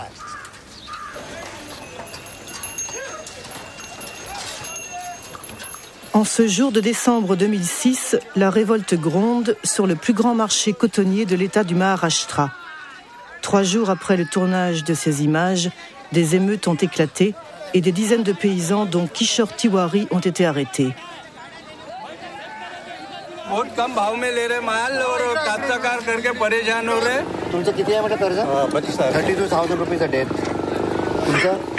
Sixty thousand rupees a debt तुमचं पन्नास। Fifty thousand rupees a debt twenty thousand rupees a debt fifty thousand rupees a debt fifteen thousand rupees debt लोकांना BT लावायचं नाही पुढच्या they don't want to quote for the BT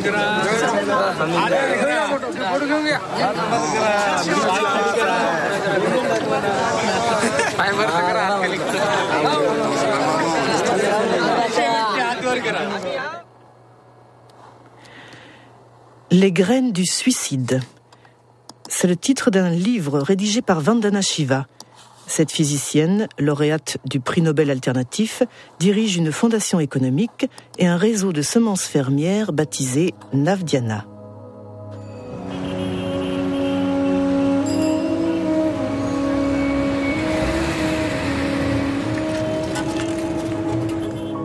Vandana Shiva s'est d'abord battue contre la première révolution verte, celle des années 1960 qui a introduit l'agriculture industrielle en Inde.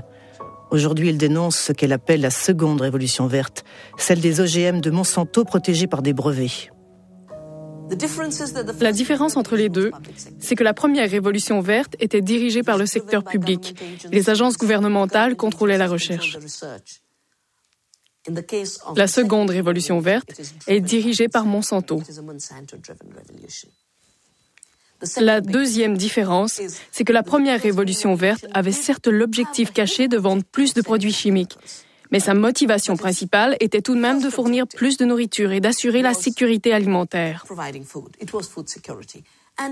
Au bout du compte, même si cela s'est fait au détriment d'autres cultures comme les légumineuses, on a produit plus de riz et de blé pour nourrir les gens. La seconde révolution verte n'a rien à voir avec la sécurité alimentaire. Son seul but, c'est d'augmenter les profits de Monsanto. Ils ont toujours dit que la manipulation génétique était un moyen d'obtenir des brevets. C'est cela leur vrai objectif. Si vous regardez la stratégie de recherche que Monsanto déploie en ce moment, la firme est en train de tester une vingtaine de plantes où elle a introduit des gènes BT. La moutarde, le gombo, l'aubergine, le riz et le chou-fleur. Une fois qu'elle aura imposé comme norme le droit de propriété sur les graines génétiquement modifiées, elle pourra encaisser des royalties. Nous dépendrons d'elle pour chaque graine que nous semons et chaque champ que nous cultivons. Si elle contrôle les semences, elle contrôle la nourriture. Elle le sait, c'est sa stratégie. C'est plus puissant que les bombes, c'est plus puissant que les armes, c'est le meilleur moyen de contrôler les populations du monde. À ce réquisitoire musclé, Monsanto répond qu'il n'en est rien en brandissant les engagements de son pledge intégrité, dialogue, transparence, partage. We want to participate constructively in the process by which societies around the world try to develop good answers to those questions. Are the products going to be safe for the environment? How are they going to affect biodiversity? How are they going to affect other plants and insects and birds? What about outcrossing of genes? What happens if, if genes do outcross into wild species? To me, that means, among other things, listening carefully and respectfully to all points of view. Avec l'air de rien, Robert Shapiro vient de parler d'un sujet très délicat qui inquiète vivement tous les opposants aux OGM, la contamination transgénique. Monsanto préfère parler de présence accidentelle faisant partie de l'ordre naturel. Apparemment, les OGM ont déjà contaminé le maïs mexicain. C'est ce que révèle une étude publiée par la revue scientifique Nature. Signée par le professeur Ignacio Chapela de l'université Berkeley, cet article a provoqué une vive polémique.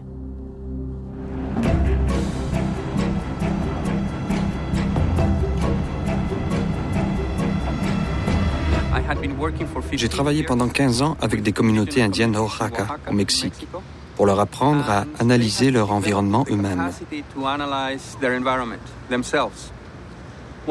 L'un de mes étudiants est parti pour les entraîner à détecter les OGM. Nous avions apporté une boîte de conserve de maïs américain qui allait nous servir de contrôle positif parce que nous savions que ce maïs était transgénique. Nous avions besoin d'un contrôle négatif et nous nous sommes dit que pour cela, le maïs mexicain était parfait parce que c'est le maïs le plus pur et le mieux préservé du monde. Quand nous avons analysé nos échantillons, nous avons été très surpris de découvrir que le maïs qu'on croyait sans OGM contenait déjà de l'ADN transgénique.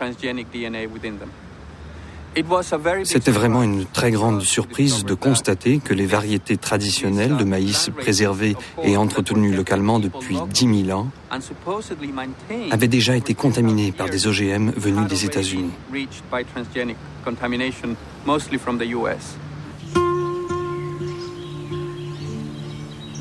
Le Mexique représente le centre d'origine du maïs. Dans la seule région de Oaxaca, dans le sud du pays, on dénombre plus de 150 variétés locales. Cette grande biodiversité est un trésor universel qui abrite le réservoir génétique du maïs, entretenu par des millions de paysans mexicains. Ce maïs, c'est pour la famille Oui, rien que pour la famille. On fait des tortillas. Celui-là a une belle taille, alors je vais le garder comme semence pour l'année suivante. Vous n'achetez jamais de semences à l'extérieur? Non. C'est un échange Oui, c'est le troc de l'Antiquité.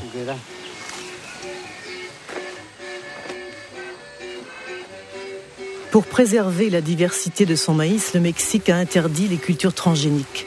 En revanche, dans le cadre du traité de libre-échange signé avec les États-Unis et le Canada, le pays n'a pas pu empêcher l'importation massive de maïs américain transgénique à 40%. Destiné exclusivement à la consommation humaine et animale, le maïs américain menace la production locale. Largement subventionné par l'administration de Washington, le maïs industriel, comme on dit ici, est vendu deux fois moins cher que le maïs traditionnel.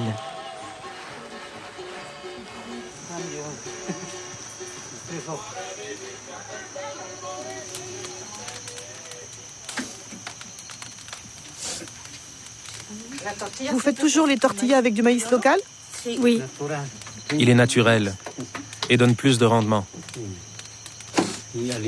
Et puis, il est plus nourrissant, car il vient d'une terre pure.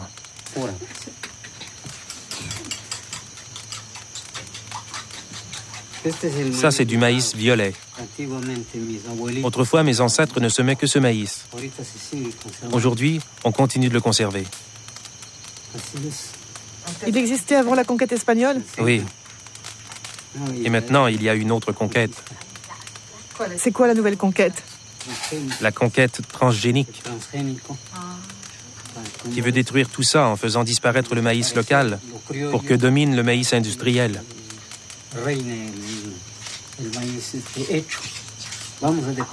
Si c'est le cas, nous dépendrons des multinationales. Nous serons obligés d'acheter les engrais et les insecticides qu'elles vendent. Car sans ça, leur maïs ne poussera pas. Alors que le maïs local marche très bien sans engrais ni herbicides. Vous voyez, il est très beau.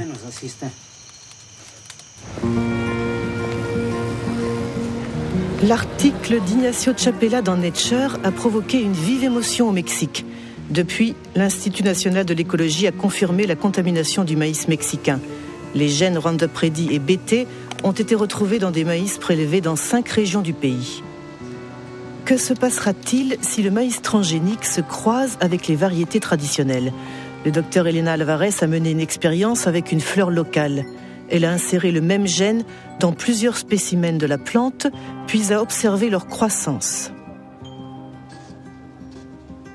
Nous avons constaté que deux plantes strictement identiques du point de vue génétique, c'est-à-dire qu'elles ont le même génome, les mêmes chromosomes et le même transgène, la seule différence étant que le transgène est situé à des endroits différents, eh bien, une fois qu'elles ont poussé, ces plantes peuvent présenter un phénotype, c'est-à-dire des formes florales très différentes. Certaines ont des fleurs qui sont identiques au modèle naturel, avec, comme ici, quatre pétales, avec quatre sépales. Mais d'autres ont des fleurs aberrantes, avec des poils anormaux ou des pétales bizarres. Et certaines sont carrément monstrueuses.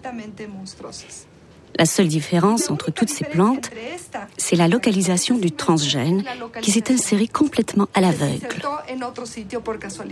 Pourquoi est-ce préoccupant? Au Mexique, une fois que les semences transgéniques seront libérées dans l'environnement, il est fort probable que les transgènes s'insèrent dans le génome des variétés locales mexicaines. C'est un phénomène qu'on ne peut pas éviter, car les plantes de maïs se croisent naturellement par le pollen que transporte le vent. On peut donc craindre que le fond génétique du maïs traditionnel soit affecté de manière totalement incontrôlée.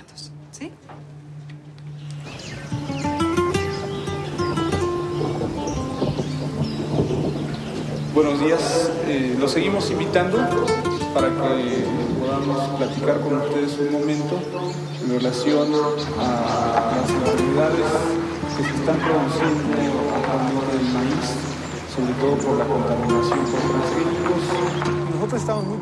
Aldo Morales dirige une organisation indienne. Depuis deux ans, il mène une campagne d'information dans les communautés de Oaxaca. Les craintes exprimées par le docteur Alvarez ont déjà été vérifiées sur le terrain. Yo voy a mostrarles ahora algunas imágenes de plantas de maíz que hemos encontrado aquí en, en, en, en la región de la Sierra Juárez y que nos gustaría saber si ustedes las han visto. ¿No? Opa, estas no son. Aquí en esta imagen, por ejemplo, podemos ver cosas raras. Esta planta pues tiene una rama por aquí y otra rama por acá. Las milpas normalmente no salen así. Digamos, sale una hoja y arriba sale un, un gilote, ¿no? En este caso están saliendo tres gilotes sobre una sola hoja. Son monstruos. Esa planta nosotros la enviamos a un laboratorio de biotecnología para que detectaran si tenía presencia o no tenía presencia de transgénicos y desgraciadamente nos dio positivo. Miren, plantas como esta las hemos encontrado sobre todo en la calle, en algún jardín, porque seguramente alguien fue a comprar el maíz a la tienda y pues iba caminando y se le cayeron algunos maíces y esos maíces crecieron. Y entonces de esa manera es como se puede producir la contaminación a las plantas nativas de maíz. Lo que yo entiendo que con el, en el futuro, si se deja que esto se prolifere dentro de los cultivos de, de, los campesinos, al rato nosotros vamos a tener que comprar maíz porque nuestro maíz ya no va a servir. Es preocupante. ¿Qué debemos de hacer? ¿Cómo le vamos a hacer? ¿no? Una de las recomendaciones que nosotros estamos dando es que si nosotros vemos cosas raras en algún momento, este, pues le quitemos la espiga, porque la espiga es donde sale el polen. Entonces decimos aguas. ¿sí? Tenemos que ser más vigilantes con nuestras milpas. Pensez-vous que cela puisse être une stratégie de Monsanto, ce qu'elle ne peut pas obtenir légalement, c'est-à-dire les cultures légales d'OGM, elle l'obtient par la contamination Oui, on finit par se demander si la contamination n'a pas été intentionnelle. Si le centre d'origine du maïs est contaminé, le reste de la planète peut suivre. La contamination profite uniquement à des multinationales comme Monsanto. Comment a réagi Monsanto à la publication de l'article d'Ignacio Chapela sur la contamination mexicaine? Les coups tordus de Monsanto et le licenciement du professeur de Berkeley. C'est signé Jonathan Matthews qui dirige GM Watch, un service d'information sur les OGM basé dans le sud de l'Angleterre.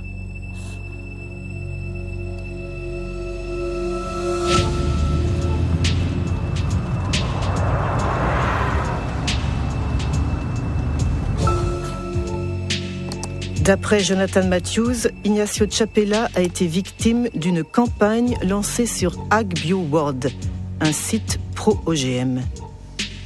La veille de la publication de l'article de Nature, une certaine Mary Murphy a posté un email que AgBioWorld a distribué à des milliers de scientifiques internationaux. Elle écrit les activistes vont certainement faire courir le bruit que le maïs mexicain a été contaminé par des gènes de maïs OGM. Dès le lendemain, une certaine Andura Schmetacek poste un deuxième email. D'abord un activiste avant d'être un scientifique. C'est vraiment une campagne de diffamation. Les deux premiers jours, on a d'abord Murphy et Smitechek qui entrent en scène. Et puis, il y a d'autres scientifiques qui réagissent en disant Nous devons faire campagne contre cela. Nous devons inonder Nature d'emails en disant que cette étude n'est pas sérieuse. J'ai passé beaucoup de temps à chercher qui étaient Smitechek et Murphy. En ce qui concerne Smitechek, si on regarde les informations techniques en bas de ces emails, on voit reçu de avec l'adresse du site expéditeur.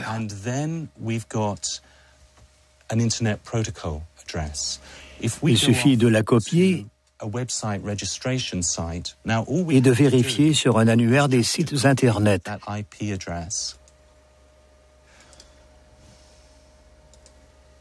Et on trouve que le propriétaire, c'est la compagnie Monsanto de Saint-Louis. Quant à Mary Murphy, elle a laissé quelques indices qui m'ont aussi permis de remonter jusqu'à elle. On voit que les emails postés par Mary Murphy ont pour adresse bw6.bivwood.com. En cherchant, on trouve que bivwood.com, c'est le nom d'une agence de communication appelée Groupe Beavings. Et parmi ses clients, il y a Monsanto. Des faux scientifiques, c'est vraiment des coups tordus. Oui, on peut parler de méthodes très sales qui piétinent l'éthique la plus élémentaire. Elle révèle une compagnie qui est prête à tout pour imposer ses produits partout dans le monde, y compris à détruire la réputation de tous ceux qui peuvent lui faire obstacle. L'accusation de Jonathan Matthews a été reprise par la presse britannique, mais Monsanto a préféré l'ignorer. Tandis qu'elle poursuit son irrésistible ascension, la firme défend sa vision d'un monde transgénique censé résoudre le problème de la faim et de l'environnement dans la plus grande harmonie. L'expérience pratique démontre clairement que la coexistence entre l'agriculture transgénique et l'agriculture conventionnelle ou biologique est non seulement possible, mais qu'elle se passe pacifiquement partout dans le monde.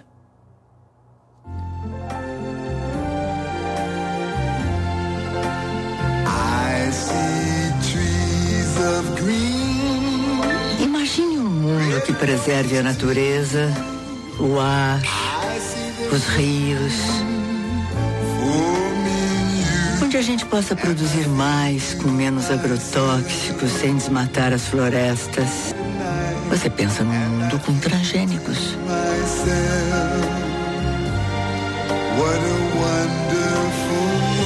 Uma iniciativa Monsanto com apoio da Associação Brasileira de Nutrologia.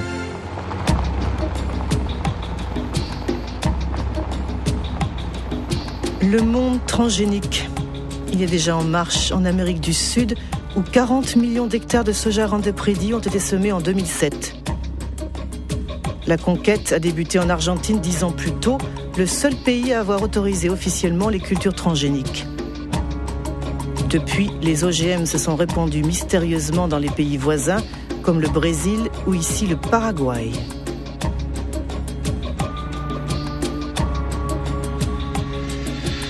En 2005, le gouvernement paraguayen a finalement légalisé les cultures clandestines pour sauver ses exportations de soja, notamment vers l'Europe, où l'étiquetage des produits OGM est obligatoire. Autant dire que le ministère de l'Agriculture a été placé devant le fait accompli. Nous avons dû autoriser l'utilisation des OGM, car ils étaient entrés, de manière, disons, irrégulière dans notre pays. Sait-on comment les semences transgéniques sont entrées dans le pays Par le marché noir ou la contrebande non. nous ne parlons pas de marché noir, mais de sacs blancs, parce que ce sont des sacs de semences qui ne présentent aucune inscription officielle. Est-ce que Monsanto a joué un rôle dans cette contrebande de semences? Il est possible que l'entreprise ait, disons, promu ces variétés, ces semences, et comme je vous ai dit, le gouvernement a dû réagir a posteriori en validant effectivement un état de fait.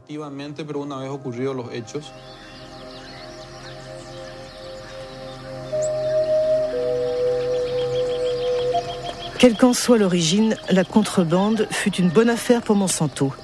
Dès que les cultures furent légalisées, la compagnie a obtenu que les producteurs payent des royalties sur chaque tonne de soja produite, comme au Brésil.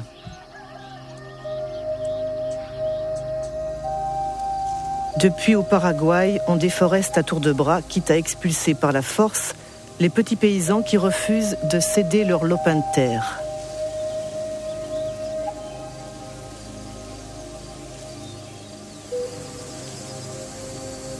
Jorge Galeano dirige une organisation paysanne qui se bat contre la progression de ce qu'il appelle le désert vert. Nous avons ici un exemple de ce qu'est une culture de soja transgénique. En fait, c'est une monoculture qui détruit tout ce qu'il y a sur son passage. Avant, ici, il y avait des bosquets et tout ce qui fait vivre l'agriculture familiale. Des plantes, des arbres, du manioc, du maïs. Pensez-vous que cette monoculture transgénique peut cohabiter avec les cultures des petits paysans? Non, nous sommes sûrs que non. Ce sont deux modèles incompatibles qui ne peuvent pas coexister. C'est une guerre silencieuse qui élimine des communautés et des familles paysannes et détruit la biodiversité de la campagne. Elle apporte la mort, la pauvreté, des maladies et anéantit toutes les ressources naturelles qui nous font vivre. Aujourd'hui, partout dans le pays, on arrose de Roundup, par avion ou avec des épandeurs conduits par des ouvriers agricoles sans aucune protection. Et on arrose jusqu'aux portes des maisons ou près des cultures vivrières des petits paysans. Chaque année, des récoltes sont détruites et des milliers de personnes contaminées.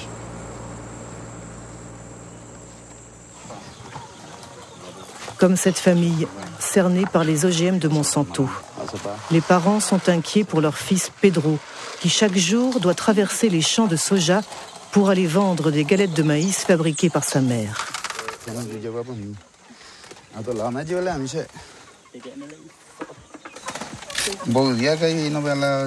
Eh, 15 días ya por la peso ya ni por ah. Eu perire bella peregua be tu butere la primero güey. Oyu pijo ya. Oyu pijo.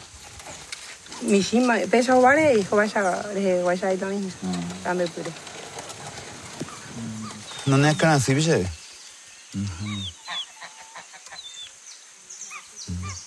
Come bien. Te dia hoy eh do usted vete mi umia ya poina eh jugo hamba ende uina. Misa sa ibe le karube. Ha ha eh. Qua, ha ma qua. Kala ma qua karube sí. Eh o karube eso y coina. Pero alguna veces hay escuela y karube y más veo. Delicado. Eh. Así es, vivimos. Tomamos el agua, intoxicado, muriendo de nosotros 60 patos con ganso. Ahí viene y enseguida cae y muere. Porque allá se pasaba, se mata Ahí en la altura. Y cuando llueve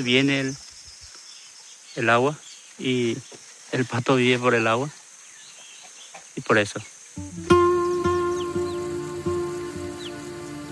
Au Paraguay, 2% de la population détiennent 70% des terres cultivées et avec les OGM, la concentration ne cesse de s'accentuer. Les trois quarts des producteurs de soja sont des étrangers qui placent leur argent dans le nouvel or vert.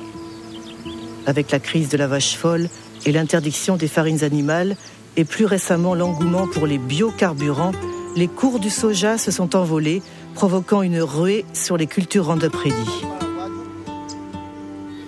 D'après le dernier recensement paraguayen, 100 000 personnes quittent chaque année la campagne pour s'installer dans les bidonvilles des grands centres urbains. La majorité a fui le soja transgénique de Monsanto, destiné à nourrir les poules, les vaches et les cochons d'Europe. Ñaña, imita la, sobre la, el modelo de producción de la soja transgénica promovido por Monsanto.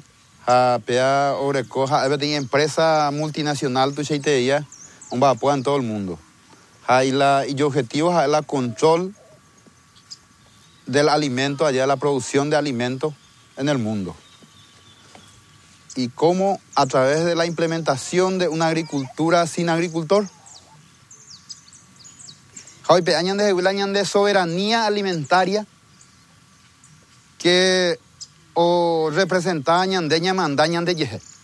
Ya producir ñande ya uana, naña depende y otro de ya carujanwa.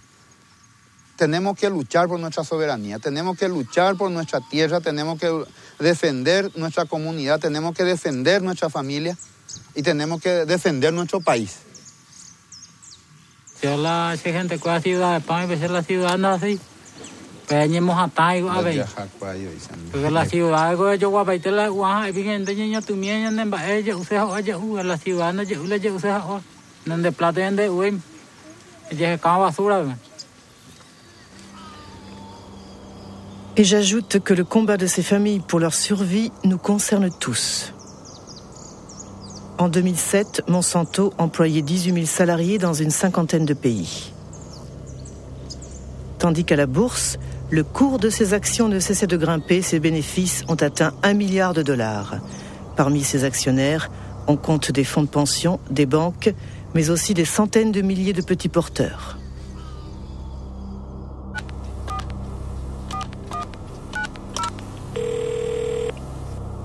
Chris Horner. Uh, hello, Christopher Horner. I'm Marie-Monique Robin from France. Oui, nous apprécions votre insistance à demander une interview, mais nous avons eu plusieurs conversations internes et nous n'avons pas changé notre position.